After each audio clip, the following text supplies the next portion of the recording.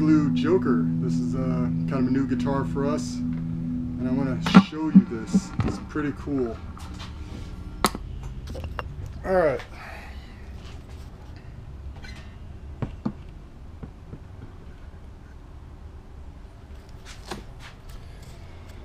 This is the first hollow body that I know of that's got a wide neck. Uh, but we've got it in a 1 and 7 8 inch and a 2 inch. Uh, the 2 inch been really wide. If you've got large fingers and you're having a little bit of trouble playing uh, a regular skinny neck guitar, uh, these, this is the answer. Um, your journey will change in an instant because you'll spend a lot more time learning songs rather than fighting the string spacing on a guitar. But these are semi-hollow bodies. We've just got these done, and I just want to uh, give you a close-up look at this real quick here.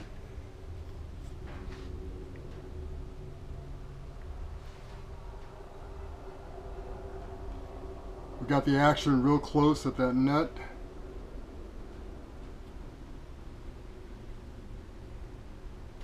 That's wide. That two inches really nice and wide.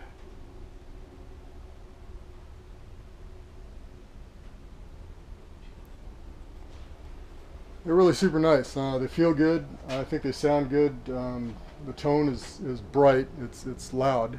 Um, doesn't seem subdued to me uh, based on all the guitars I've checked out.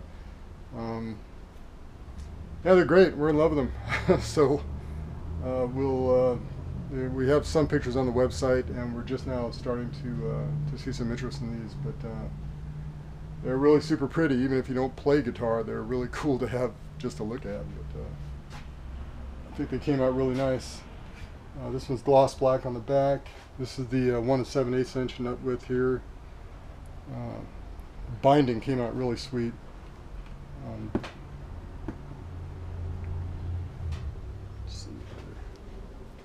uh, this one here is uh, blue.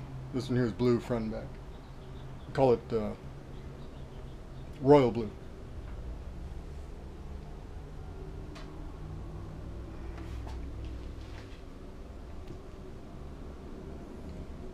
Anyway, hope you're as excited about them as I am. I think they're great, uh, very pretty guitars. Should last a lifetime. The necks are laser straight. Shouldn't have any issues with these whatsoever. Uh, got them priced right. Um, uh, we're real happy with them, and hopefully you guys will be happy with them too.